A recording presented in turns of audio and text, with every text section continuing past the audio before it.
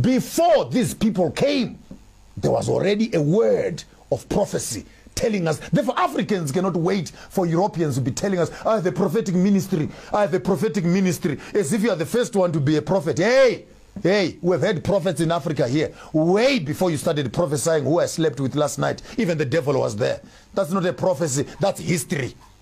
If you want to talk about prophecy, you should have told us that Corona was coming. Then I would have believed you. Even now, it's not too late. If you are a prophet, tell us when it will end. Look into the future and tell us if you are with God. Because the Bible says God will not do anything unless He has whispered to His prophets, to His servants, the prophets.